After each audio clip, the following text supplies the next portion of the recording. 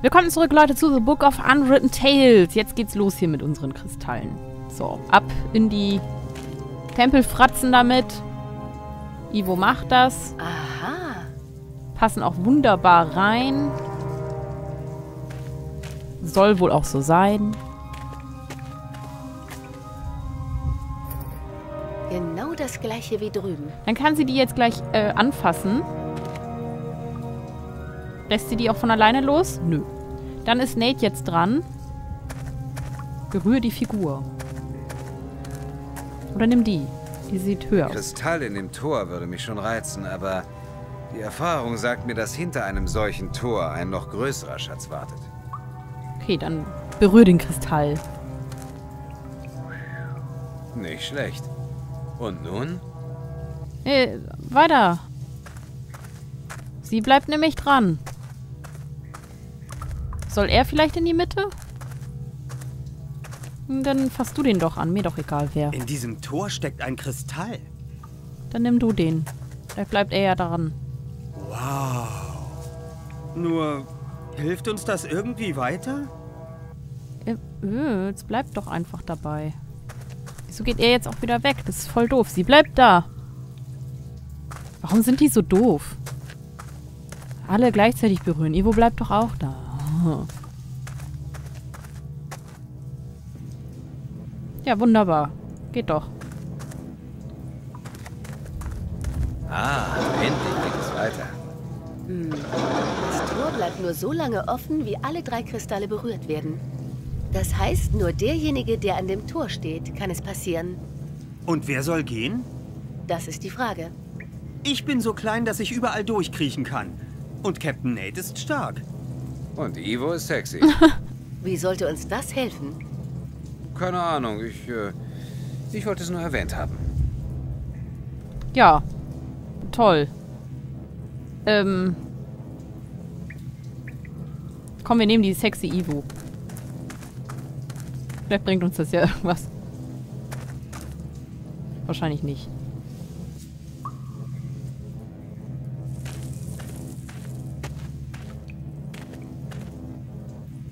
Wow, das sieht vielversprechend aus. Nur, es passiert nichts weiter. Ja, weil er doch jetzt dran ist. Oder muss er jetzt? Ich weiß auch nicht. Nee, nee, nee. Du so. Nee, nee.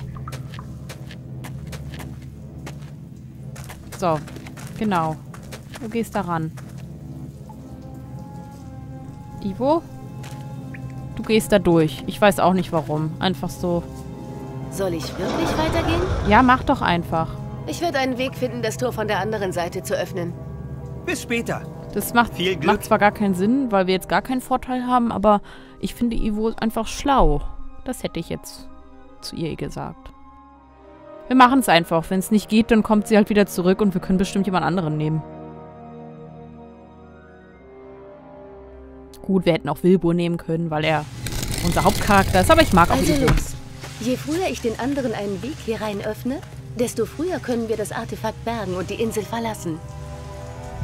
Gut, wir gehen. Der sexy Ivo betrachte das Paddel.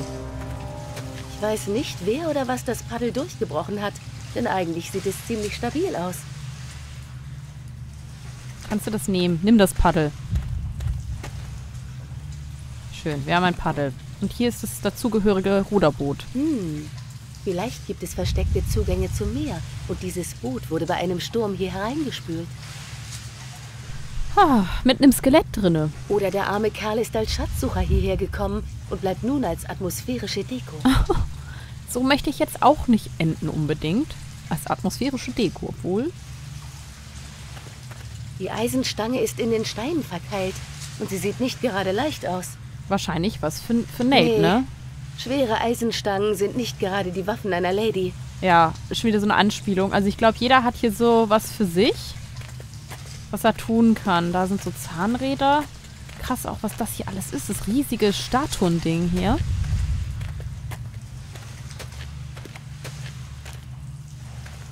Man fragt sich, ob die Figur schon immer da war und man deswegen den Tempel gebaut hat oder ob sie nachträglich als monströses Prunkstück in den Fels geschlagen wurde.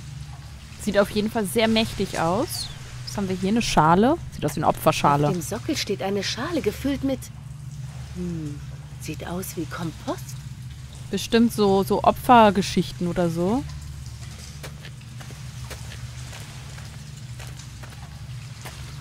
Ich schätze, das waren mal Opfergaben oder etwas in der Ja. Art. Aber alles Essbare ist längst verrottet.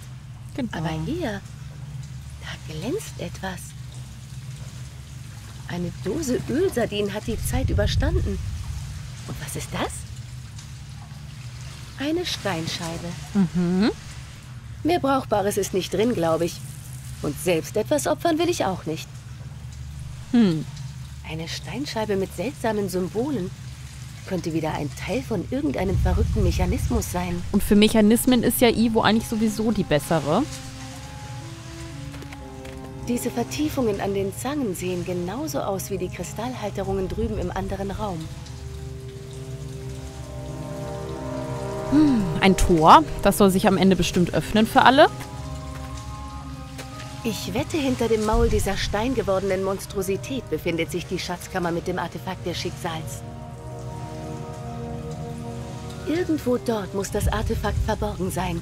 Ich kann seine Nähe geradezu spüren. Es ruft mich, aber ich wünschte, es wäre niemals in diese Welt gekommen. Dann noch mit dieser Lara Croft Stimme.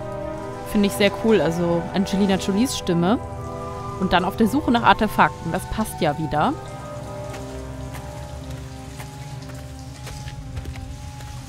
Was immer hinter dem Steintor liegt, dürfte mir weiterhelfen. Es sieht so aus, als würde der Mechanismus der Eingangstür von dort aus gesteuert. Können wir da was Das machen? Tor wird sich nicht einfach aufschieben lassen. Ein Lichtschacht. Oder vielleicht dient die Öffnung auch der Entlüftung. Sie führt auf jeden Fall hinter das Tor. Vielleicht kann sie mit dem Paddel irgendwie äh, das da reinpacken oder so. Hm. Ah. Meine leichteste Übung. Ach, sie kann das sogar, weil sie groß genug ist. Sie kann durch die Öffnung kriechen. Das ist ja cool. Wo kommt sie dann durch? Wieder bei denen raus? Nein. In einen coolen Maschinenraum. Aha. Geht das Tor dann auf? Ja, dann kann sie da jetzt aufmachen und jeder kann da durch. Cool. Dafür haben wir Ein Ivo hier. abgerundeter Zylinder mit Steindeckeln und einer kleinen Luke. Mitgenommen. Alles mitgenommen. Überraschend schwer. Ich frage mich, was immer all diese Maschinen, Zahnräder, Knöpfe und Hebel in untergegangenen Tempeln zu suchen haben. Ich meine, normale Tempel haben diesen Kram doch auch nicht. Immer nur untergegangene. Ja, da ist was dran. Drücke den Knopf. Oh ja, den großen roten. Einfach drauf auf den Button. Nichts. Vermutlich muss die Maschine laufen, damit sich etwas tut. Ist das eher was dann für Wilbur? Die Maschinen sind tot. Und ich bin mir auch nicht sicher, ob sie nach all den Jahren noch funktionieren würden. Wilbur kann das Die bestimmt. Maschinen sind tot. Guck mal, hier ist so, da kann die Scheibe drauf Hm. vielleicht. Zwei Steinscheiben mit einem Schaft in der Mitte. Die untere Scheibe ist größer als die darüber. Es sieht aus, als würden Scheiben fehlen. Auf den beiden Scheiben sind Symbole eingeritzt.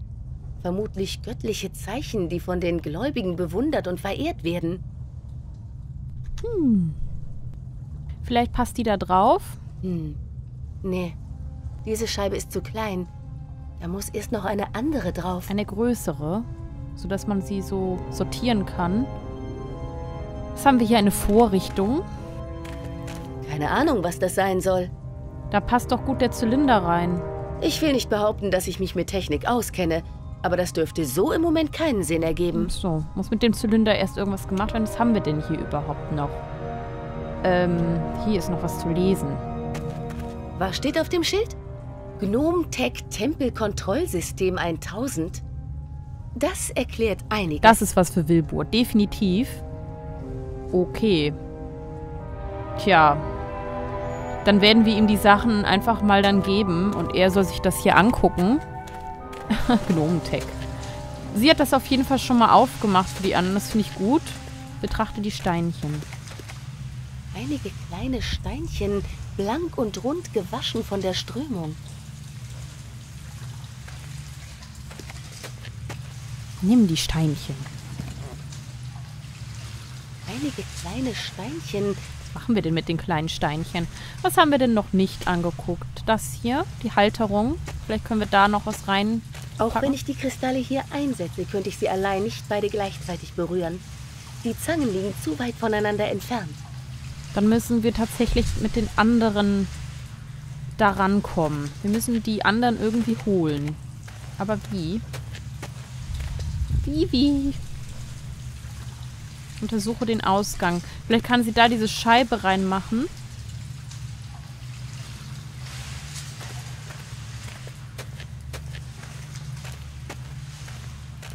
Wie es scheint, ist einiges an Technik nötig, um diesen kleinen Zaubertrick mit den Kristallen durchzuziehen.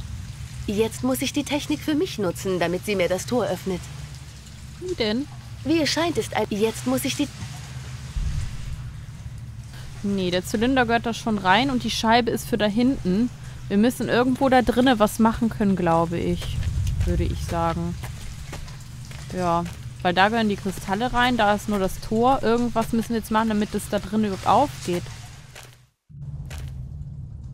Was haben wir denn hier noch nicht gemacht? Hier, die Maschine nochmal. Die Maschinen sind tot. Können wir hier irgendwas mit, mit, mit ja, wie, wie bringen wir das Ding zum Laufen? Die Maschinen... Die Maschinen... Durchsuche die Schublade, das hatten wir noch nicht. Aha, eine Steinscheibe. Ah, doch was für Ivo. Gut, das ist nämlich eine größere. Die packen wir da jetzt mal drauf. Mal gucken, was wir dann machen können. Passt Und perfekt. jetzt die andere. In Ordnung. Die Scheiben sind nun genauso hoch wie der Schaft in der Mitte. Und jetzt? Dreh die Steinscheiben. Also schön. Was haben wir hier? Ich kann mit den Symbolen nicht viel anfangen. Es sind dieselben, die hier überall zu finden sind. Vielleicht eine Art Hieroglyphenschrift. Hm, Hieroglyphenschrift. Können wir hier Knöpfe drücken? Sollen wir machen? Sollen die alle in einer ähm, Dings sein? Alle beieinander? Stern zu Stern und so. Das wäre doch was. Hier die komische Flosse.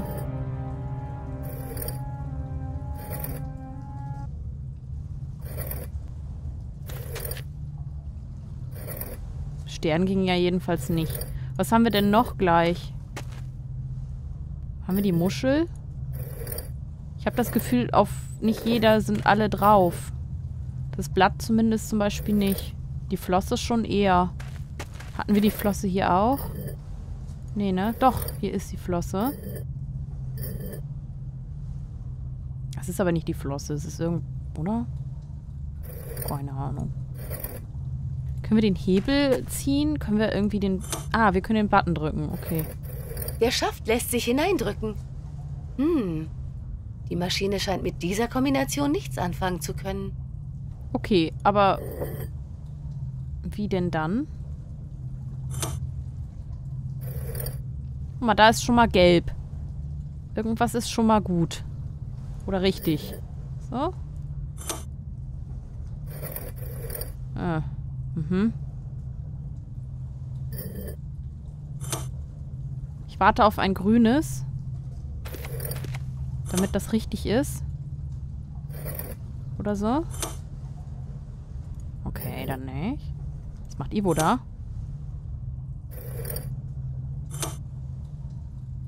Was macht sie da? Ich weiß es nicht. Drück einfach den... Ach, der ist falsch. Okay, das ist rot. Wir warten jetzt einfach. Also der obere zählt. Ich glaube, das war jetzt schon mal richtig. Aha, okay. Das sind die oberen beiden und die rechten roten Schalter sind die unteren beiden. So, dann brauchen wir ja nur noch zweimal grün und dann haben wir es. Ist ja nicht so schwer, das kriegen wir hin.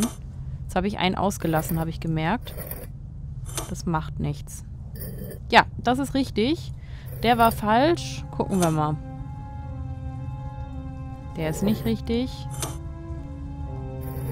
Sei grün. Jetzt haben wir gleich die richtige Combo. Vielleicht der Stern? Hm? Der Die Maschine Stern. funktioniert tatsächlich noch. Juhu. Das war nicht so schwer. Dieses Tal dreht sich immer mal wieder schwunghaft um 90 Grad. Ich habe nicht die geringste Ahnung, warum es das tut. Vielleicht kommen die anderen beiden ja jetzt irgendwie durch. Was ist mit der Schublade? Ist da jetzt noch was drin?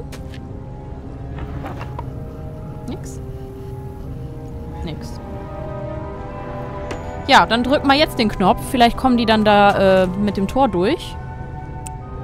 Ich glaube, das war's. Na? Leute? Seid ihr da?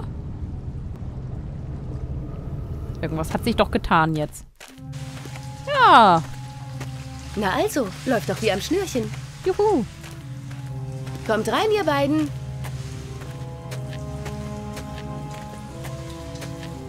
Wo sind sie denn jetzt? Hm, nichts zu hören. Äh, Wo sind denn die beiden? Brauchen sie eine Einladung? aber echt, wo sind die? Okay, Jungs, was soll... Oh nein. Na toll. Ist es zu viel verlangt, hier ein paar Minuten zu warten? Wo sind die? Oh nein. Irgendwas passiert? Ich gehe jetzt mal raus. Nicht, dass sie irgendwie ge geschnappt wurden. Jetzt ist der komische Ast. Hey, Ah. hörst du mir zu? Nein, da sind welche gekommen.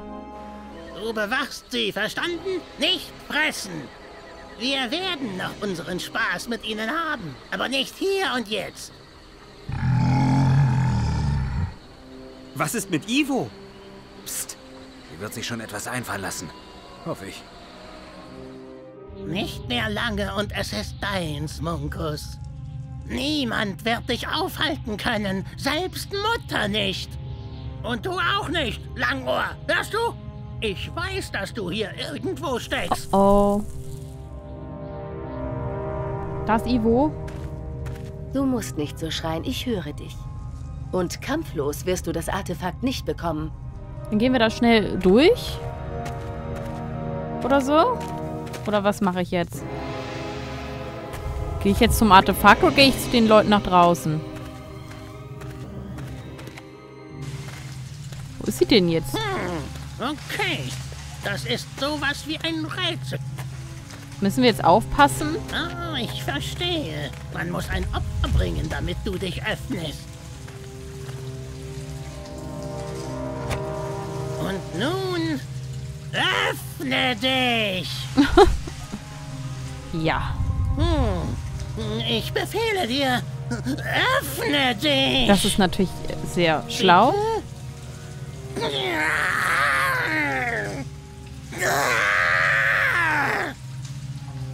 Okay.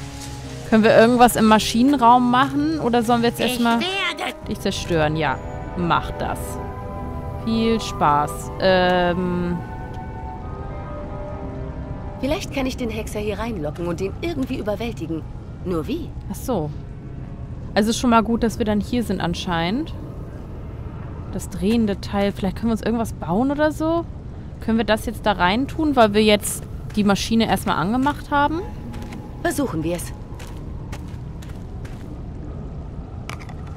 Und weg damit. Ach so. Vermutlich ist das gesamte System nicht mehr in gutem Zustand. Aber wenn die Person nämlich hier steht, dann ballern wir ihr das Ding daran. Und dann kriegt die einen an die Glocke. Oder er oder sie, ich weiß jetzt nicht, sie, glaube ich. Steinchen, können wir die da auch reinpacken? Oder mit dem Paddel dann noch? Paddel. Können wir denn mit dem Paddel machen? Ölsardine. Eine ziemlich alte Dose Ölsardinen. Ich glaube kaum, dass man sie noch essen kann. Oder will. Ja komm, das muss doch hier gehen, dass wir die jetzt locken und dann... Babam. Ich werde dich zerstören. Komm mal her. Munkus. Von dem kleinen Kerl mit dem hohen. Blutdruck halte ich mich lieber fern. Okay, jetzt zaubert der schon. Also schön. In der Ruhe liegt die Kraft. In der Ruhe liegt die Kraft. Ja, aber wir haben doch dann schon jetzt eine Idee oder so. Dieses Tal dreht sich immer mal wieder schwunghaft um 90 Grad. Ich habe nicht die geringste Ahnung, warum es das tut. Können wir das Paddel... Das Paddel? Könnte passen. Aber was haben wir davon, wenn wir das Paddel da jetzt in das Loch stecken? Weil da diese Löcher sind, dachte ich. Für Mein Spankomat 1000 funktioniert. Und dürfte ziemlich wehtun. Ach so. Aber ich dachte, sie kriegt jetzt die Dose an den Kopf oder so. Äh. Mhm. Ja, dann, ja. Packen wir das da rein und äh, macht das dann noch irgendwas anderes Cooles?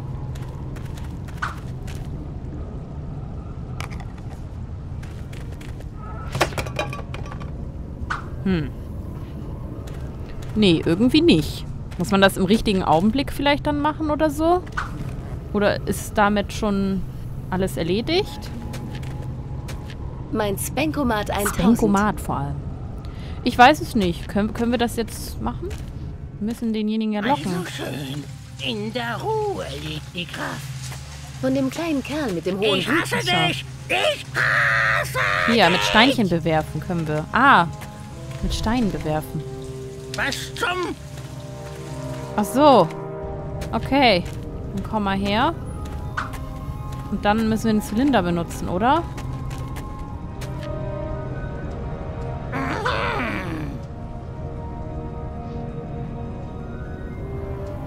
Oh, aber derjenige bleibt nicht lange da.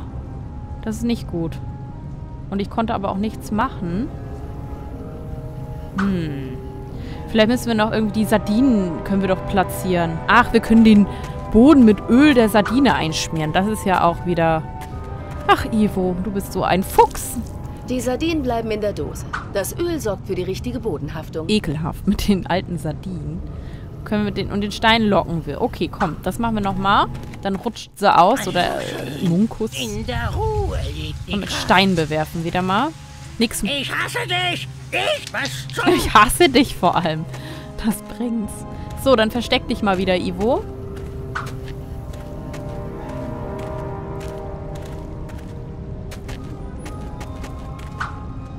So. Schon mal ausgerutscht.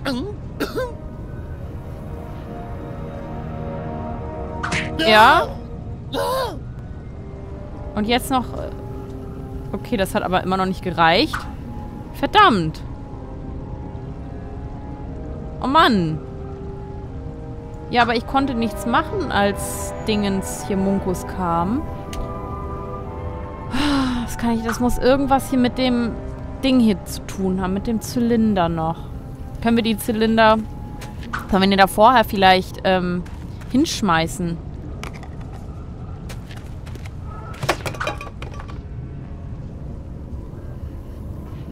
Oder nicht? Oder sollen wir den vorher nehmen? Ich hätte jetzt gedacht, wir sollen das selber da rein tun. Und zwar in der Zeit, wo, wo Munkus da unten liegt. Ich probiere das jetzt nochmal, aber wenn das nicht geht, dann, dann weiß ich auch nicht. Hm. Oder können wir da die Steinchen? Nee, können wir auch nicht. Komm, das muss doch gehen. Also schön. In der Ruhe liegt die Kraft. Ich hasse dich! Was zum... Komm. Nee, ich kann den Zylinder nicht nehmen. Also nicht vorher auf jeden Fall. Wir sind noch in einer Aktion. Einer Interaktion. Munkus fliegt hin. Wenn ich den nicht nehmen kann, was soll ich denn machen? Ja, schön auf die Glocke. Und weg ist Munkus. Da- Das geht nicht. Hm. Dann mache ich das mal, dass ich den da rein tue. Dann fliegt die Dose dahin.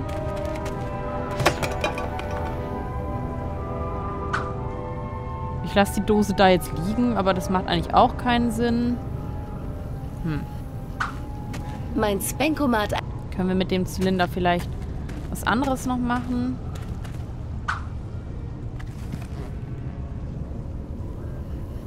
Das ist bestimmt voll easy peasy und ich stelle mich hier wieder an. Aber wozu haben wir den Zylinder, ne? Hm.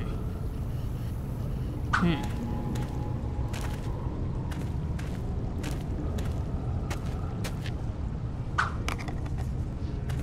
Vielleicht können wir den irgendwie mit irgendwas noch füllen oder so. Damit der da ähm, nicht so einfach, ähm, ja, weiß ich nicht, da so lang fliegt oder so. Vielleicht haben wir ja noch irgendwas übersehen. Also schön. In der Ruhe liegt die Kraft. Hm. Ich schaue mir das mal den nächsten Part an. In the Book of Unwritten Tales, Leute. Wir gucken uns an, wie wir Munkus das nächste Mal in die äh, Falle tappen lassen. Bis dann.